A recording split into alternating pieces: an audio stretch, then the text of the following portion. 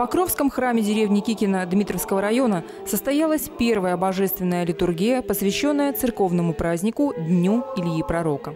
Ее провели благочинный Дмитровского церковного округа Афанасий Черногуз и настоятель Покровского храма Петр Еронов.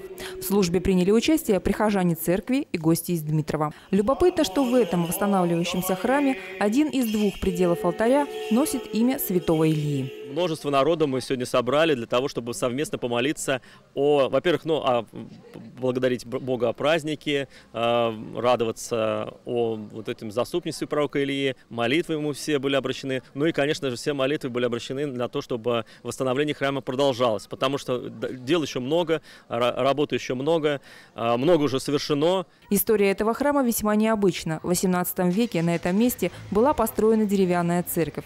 В конце XIX века возвели каменную, но она обвалилась. В 1909 году начали строить новый кирпичный храм по проекту известного архитектора Николая Благовещенского. Однако церковь до конца не достроили, колокольню так и не возвели, как и четыре башни на крыше храма. Помешала Первая мировая война, когда все средства в стране были направлены на нужды военного ведомства. Расписать церковь также не успели. Несмотря на это, в храме до 1930 года проводились службы, а затем советские власти власти его закрыли и устроили в здании совхозный склад.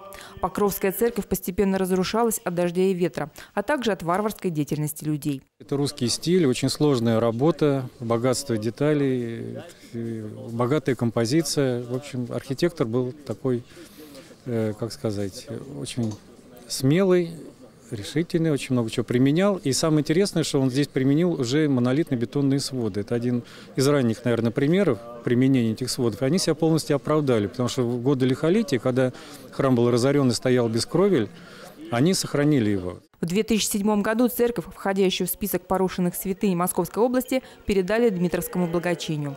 В 2008 году ее начали ремонтировать. Были восстановлены четверик и купол храма, установлены кресты. Однако из-за нехватки средств работы были приостановлены.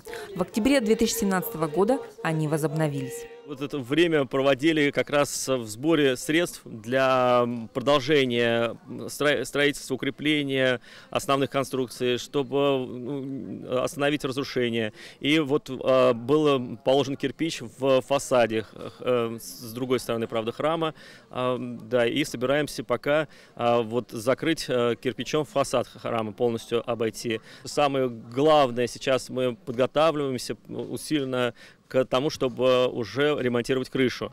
Но, правда, это очень огромные вложения должны быть. Предстоит сейчас нам очень много работы восстановить этот самый декор, который э, пострадал, когда не было кровли, и вода его разбила. Но все следы есть, и есть, э, слава богу, люди приехали из Беларуси, строители, которые не боятся ничего делать совершенно великолепно. Их не пугают, и у них свои руки. Очень замечательные люди. В этот знаменательный день на праздник в Кикино приехала глава Дмитровского района Елена Трошенкова. Она приняла участие в богослужении, поздравила с праздником прихожан, а затем осмотрела церковь и ознакомилась с ходом работ. Денежных средств на восстановление Покровского храма катастрофически не хватает. Его строительство осуществляется за счет фонда порушенных святынь Московской области, благотворителей и прихожан.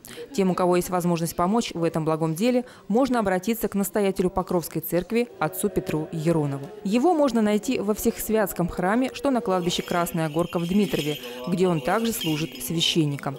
Кроме того, деньги можно перечислить на расчетный счет. Вот реквизиты.